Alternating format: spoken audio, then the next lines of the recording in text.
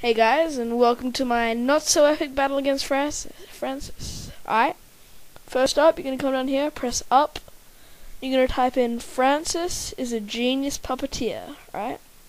Now make sure you have the capital F and the capital P on the Francis and puppeteer. And just remember the exclamation mark at the end. Um, pause it if you like. Just search it if you can't seem to get it.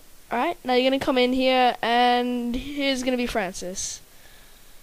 Um, this guy with the puppet on the spaghetti strings. Um, now, it, it does particularly suck being a Blaze Wizard going up against him.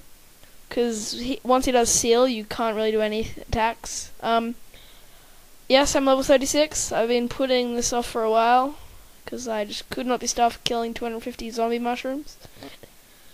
Um, he is really easy to kill if you actually consistently hit him. Unfortunately, he keeps sealing my moves, which seems to be very unlucky for me.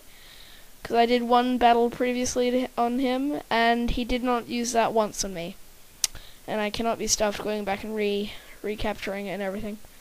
Um, as you'll see here, this is why Blaze Wizards aren't very good against him, because I'll try to hit him without using special attack, and I'll hit a 1. Yeah, um, bring about 10 of each pot, mana and health pots, just in case. You probably won't need them. Um, I'm wondering, is there anything you click around here to get like a special item? Uh, can't seem to find it. Uh, I haven't heard that there's one, but it, I think there might be. I don't know. Um, yeah, thanks for watching. And it, it is really easy, just letting you know. Like, that may have seemed a bit hard for lower levels. But it's not. It's it's not.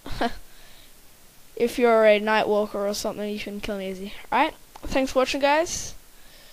Peace out. Have, an, have a nice day. Happy mapling.